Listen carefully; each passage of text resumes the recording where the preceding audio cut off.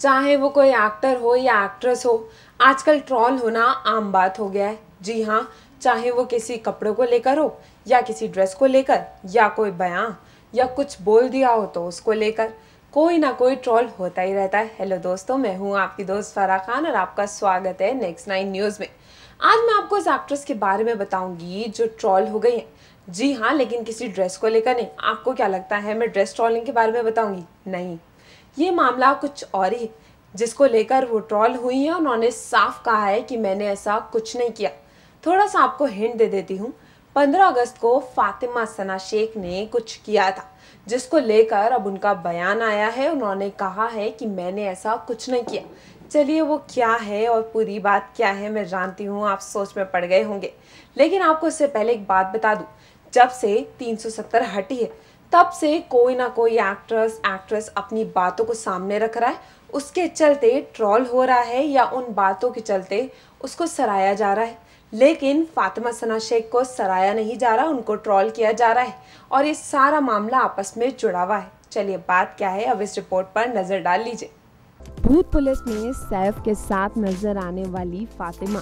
जी हाँ चाची 420 से अपने करियर की शुरुआत करने वाली फातिमा और दंगल में अपने किरदार से जाने वाली फातिमा जिन्होंने गीता फुगाट का किरदार निभाया था। और सिर्फ़ यही फ़िल्म नहीं, हिंदुस्तान थक टच ठग्स ऑफ़ हिंदुस्तान में आने वाली फातिमा, जी हाँ इन पर ट्रॉल्स का निशाना साधा जा रहा है। आपको बता दूँ कि ट्रॉलर्स इन पर निशाना साधते हुए इन्हें एंटी नेशनल भी कह रहे हैं और इन पर बहुत सारे इल्ज़ाम भी लगा रहे हैं। अब पूरा माजरा क्या है, आपको बताती हूँ। बॉलीवुड एक्ट्रेस फातिमा सना शेख के इंस्टाग्राम अकाउंट का प्रोफ़ाइल फ़ोटो 15 अगस्त के दिन ब्लैक हो गया था। स्वतंत्रता दिवस के दिन अपनी डीपी पर डार्क इमेज लगाने को लेकर Fatima Sana Shaikh social media users के निशाने पर हैं। पहले मैं सारी बात आपको बताऊँ, उससे पहले मैं आपको बता देती हूँ कि जम्मू कश्मीर से मोदी सरकार द्वारा आर्टिकल 370 को हटाए जाने के बाद से पाकिस्तान के प्रधानमंत्री इमरान खान इसका विरोध कर रहे हैं और सोशल मीडिया पर अपनी ब्लैक प्रोफ़ाइल फ़ोटो लगाकर अपना विरोध जता रहे हैं। ऐसा ही कुछ पाकिस्तानी नेताओं और अधिकारियों ने भी किया है। अब आपको बता दूँ, इन सब का निशाना कहीं फातिमा पर भी आकर गिर गया है, क्योंकि ट्रॉल्स ने फातिमा पर आरोप लगाया है कि उन्होंने पाकिस्तान का सपोर्ट करते हुए ऐसा किया। हालाँकि दंगल फेम फातिमा ने खुद ही इंस्टाग्राम पर एक पोस्ट में बताया कि कुछ भी ऐसा नहीं है। फातिमा ने इस पर अपनी चुप्पी तोड़ते हुए कहा, उन्हें नहीं पता कि ऐसा क्यों हो रहा है, लेकिन किसी वजह से लोग उन्हें इंस्टा पर नफरत भरे मैसेजेस कर रहे हैं।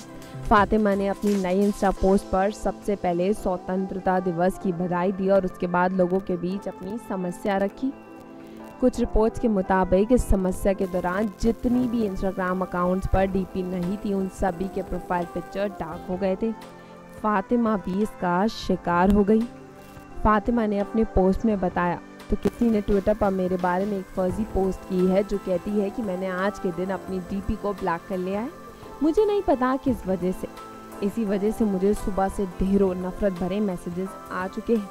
प्लीज़ फर्जी पोस्ट को शेयर मत करिए और ना उन्हें आप पर हावी होने दीजिए। आपको बता दूँ कि फातिमा ने ज़ाहिर कर दिया है कि वो ऐसा कुछ नहीं कर रही और ये सब जो उनके साथ हुआ है, वो कोई टेक्निकल गलती है। जी हाँ Farah Khan next nine news तो देखा आपने इस रिपोर्ट में पूरा मसला ये है कि जो जो इस फैसले के खिलाफ है, उसने ब्लैक डीपी लगाई थी, यानी कुछ ब्लैक पोस्ट किया था, कुछ ऐसा जिससे लगे कि पीस नहीं है, और ऐसा ही फातिमा सना शेख के अकाउंट से हुआ था। लेकिन इन सारी बातों को उन्होंने नकारा है, उन्होंने कहा, मैंने ऐसा कुछ नहीं किया, ये शायद कोई टेक्निकल गलती है या किसी की साजिश है। उन्होंने साफ़ इसको कह दिया कि उनकी तरफ़ से ऐसा कुछ नहीं और इसके बाद उन्होंने अपनी गलती को बिल्कुल ठीक भी किया। उन्होंने सबको स्वतंत्र दिवस की हार्दिक शुभकामनाएँ भी दी, जिसके बाद से वो और ट्रॉल होने लगी। अब खैर, जो भी था, उन्होंने अपनी गलती तो सुधार ली। चलिए, आज के लिए इस प्रोग्राम में इतना ही। मैं आपसे फिर मिलूँगी। मुझे इजाज़त दीजिए और बने रहिए नेक्स्ट नाइन न्यूज़ के साथ।